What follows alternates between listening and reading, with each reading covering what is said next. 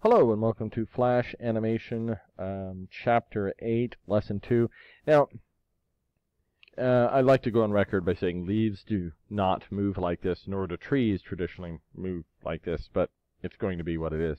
What's going on here is you, you have this little leaf animation where all the leaves are, you know, I want to say dancing, because, yeah. And at any rate, what's going to happen is, is we're going to create an animation base, uh, kind of a movie based off of that, and get rid of all the extra stuff.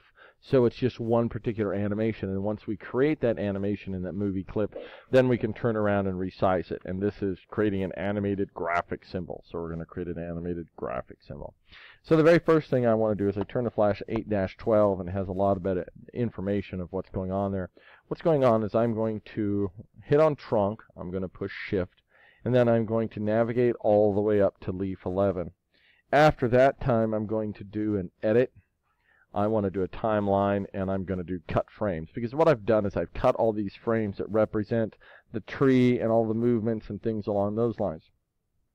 Now what I'm going to do is I'm going to insert timeline, and I want to do, oh, sorry, insert new symbol. And my new symbol is going to be called animated tree and it's going to be a graphic and I'm going to push OK and that takes us to our animated tree portion.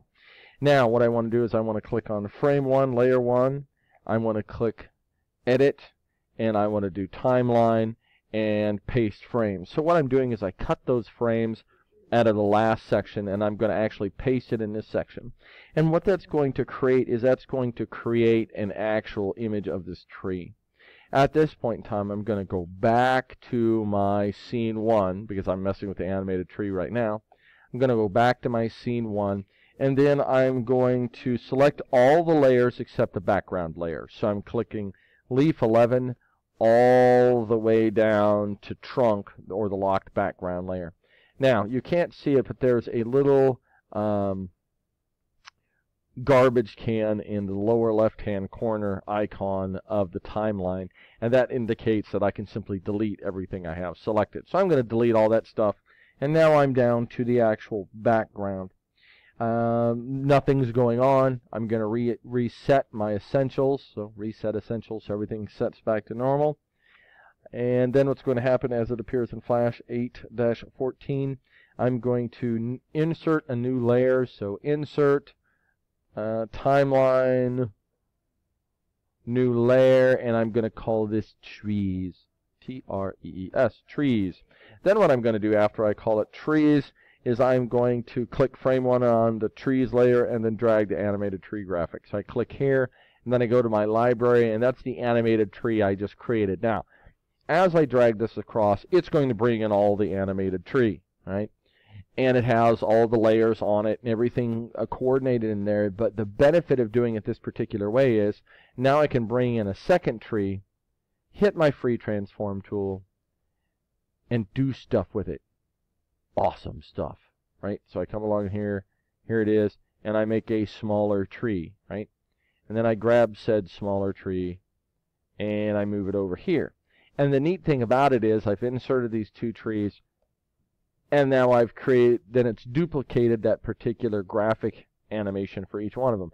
Now granted, in our particular world, all tree leaves don't move together, so if I was going to expand this in such a way that if I had, if you go back to your car one, if I wanted a consistent graphic where there was a car and the car would move a certain way, and then I could actually insert, if I turned that into an animated graphic, I could then insert multiple cars and I could do something, let's say like a freeway. So if I wanted to combine the car one with the one where I was creating a city, then I could make the all the cities I can make all the cars drive around in the city and they would have kind of the same movement, but I can do multiple lanes on a freeway or things like that so you can kind of extend beyond it.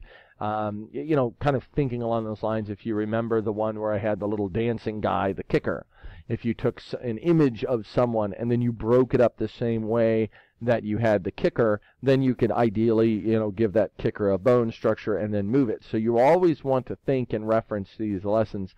How can I apply this greater than, oh, Mr. Sebastian is asking me to do all these things, and I'm just going to do it because I want to get the stuff done. Kind of think beyond that and think how it applies.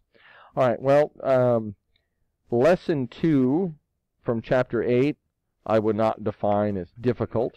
Um, hopefully you'll be able to get through it and kind of see the overall application uh, beyond our immediate needs of let's get these assignment done and done and we need a grade. All right, thank you very much for your time. I will see you in Chapter 8, Lesson 3 for more Flash excitement. Have a good day. Goodbye.